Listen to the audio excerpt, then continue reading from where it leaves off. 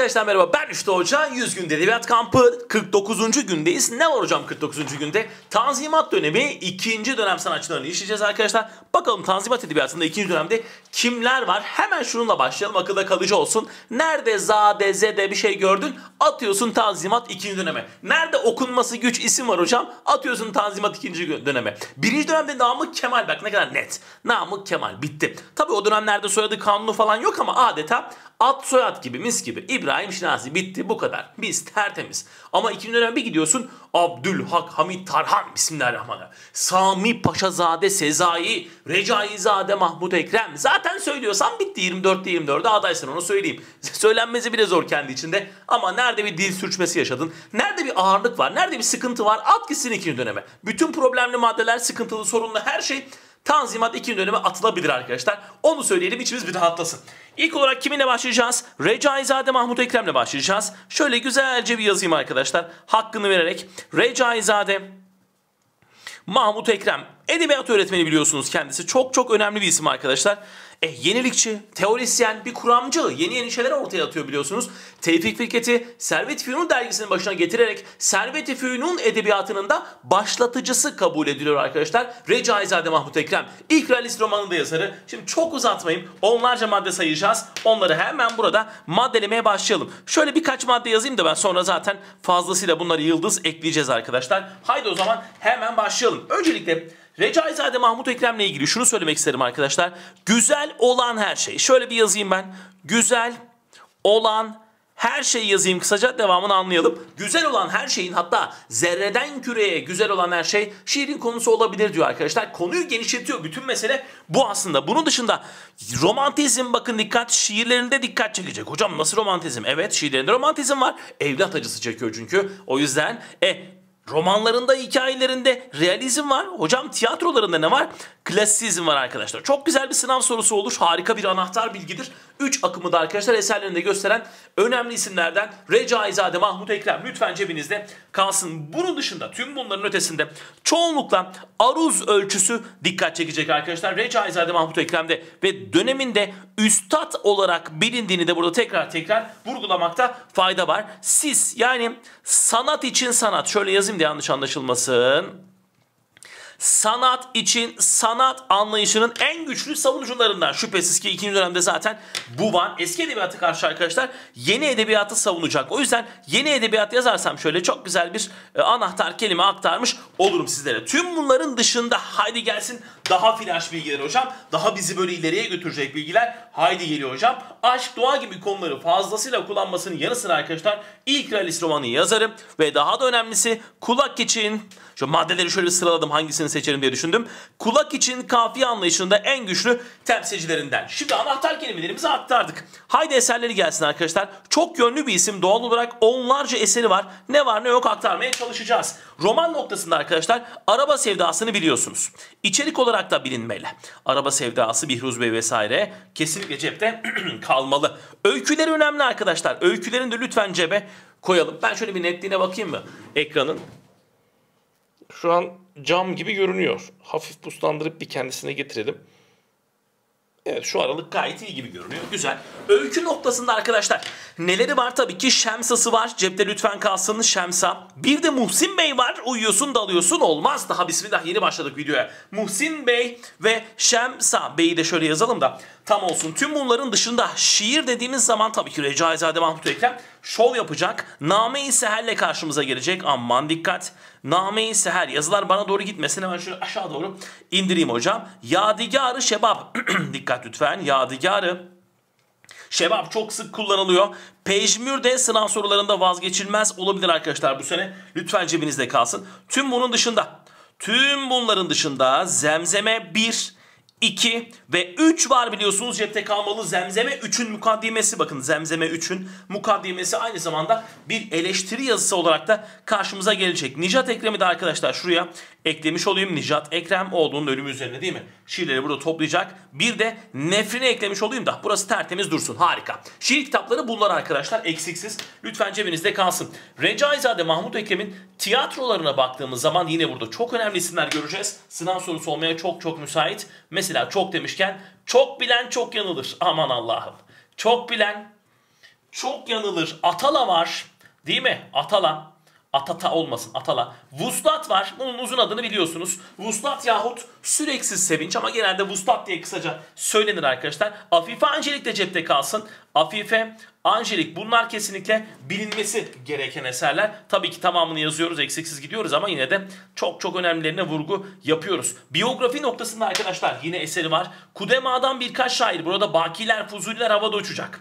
Kudema'dan birkaç şair haberiniz olsun dediğim gibi eski edebiyattan da fazlasıyla isim burada seçecek. Edebiyat bilgileri kitabı diyeyim şöyle kısaca. O nedir hocam? Hepinizin çok iyi bildiği bir eser. Şu dakika itibariyle de unutmaması gereken bir eser. Talimi edebiyat arkadaşlar. Lütfen cebinizde kalsın.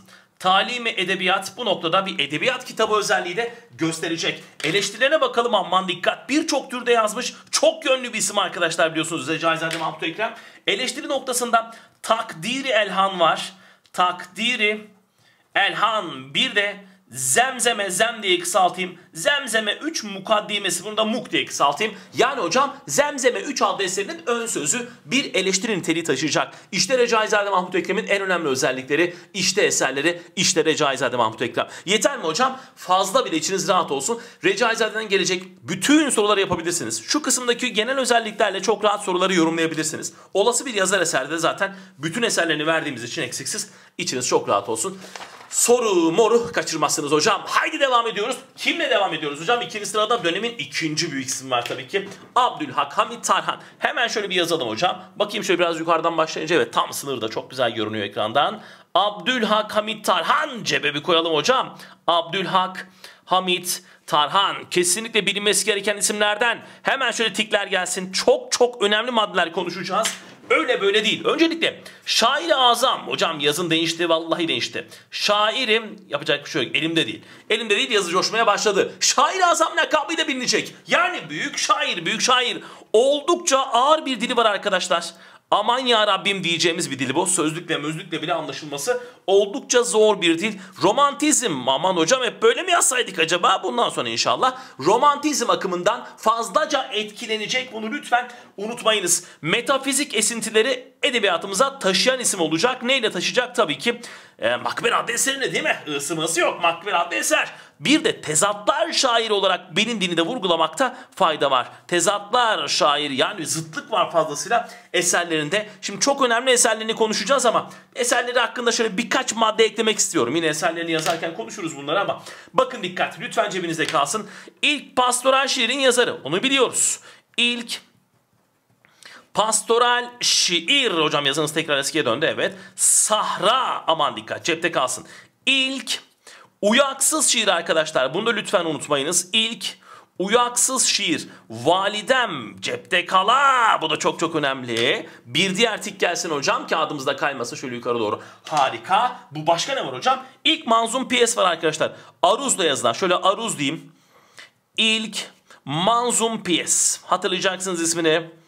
Hemen daha ilk harfini söyler söylemez bence çıkacak. E var. Haydi ikinci harfi Ş. Eş. Harikasınız. Eşber cevabı bence fazlasıyla gelmiştir hocam. Şimdi birçok dalda yine eser vermiş ama özellikle şiir noktasında ön plana çıkmış birçok eseri var. Mesela onlardan bir tanesi Ölü. Ölü varsa makber yani kabir olmazsa olmaz değil mi? Aman dikkat. Sahrayı cebe koyduk konuşmuştuk bunu zaten. Hacle diyelim arkadaşlar bunu da cebe koyalım. Validem demiştik bunu da yine yazmakta fayda görüyoruz. Tüm bunların dışında divaneliklerim yahut belde diyor. Divaneliklerim yahut belde cepte kalmalı. Güzel bir soruya dönüşebilir. Bu Y harfi küçük arkadaşlar bu arada. Divaneliklerim yahut belde. Bunlar odur var. Bunu da cebe koyarsak sanki sorun olmaz gibi. Süper. Bunlar cepte kalsa yeterli olacak. Peki hocam tiyatro noktasında ne var? Tiyatro noktasında çok çeşitli eserler yazmış arkadaşlar. Manzumlar, mensurlar, manzum mensur karışıklar. Ne bileyim aruzda yazdıkları. Şimdi bunları sınıflandıracağız. Sardan apal cepte bir kalsın arkadaşlar. Sardan apal Eşber, Sardanapal desek sanki daha mı hoş olur? Yo. Tayflar Geçidi. Tayflar Geçidi de çok artistik bir eser. Zaman gelince inşallah üzerinde durulur konuşulur. Bir de tezeri var. Nedir hocam bunlar? Bunlar Aruz'da yazdıkları arkadaşlar. Şöyle yapayım. Aruz'da yazdığı tiyatro eserleri işte bunlar arkadaşlar. Eksiksiz tamamını verdik. Bir de heceyle yazılan tiyatro eserleri var. Nesteren onlardan bir tanesi. Nesteren de yani bilinir. Çok çok tanınan bir eser biliyorsunuz. Liberte de onlardan bir tanesi. Bir de Cünunu Aşk var. Cünun aşk. Bu da bakın dikkat heceyle yazılan tiyatro eserlerinin kendisi. Bunun dışında mensur olanlar, manzum mensur karışıklar var. Artık onları da buraya şöylece aktarmış olayım. Macerayı aşk. Bir kere cepte kalmalı. Sayfada şöyle bir kaymasın. Harika. Tarık var mesela kesinlikle bildiğiniz duyduğunuz. Finten var değil mi? Şöyle aşağı doğru yavaş yavaş kaydıralım bunu. Başka ne var hocam? Yadigar harp var. Yadigar harp. Eyvallah hocam. Başka ne yazabiliriz? Önemli olsun. İçli kız mesela değil mi? Aman dikkat. Ya da şuraya hemen çekelim şöyle.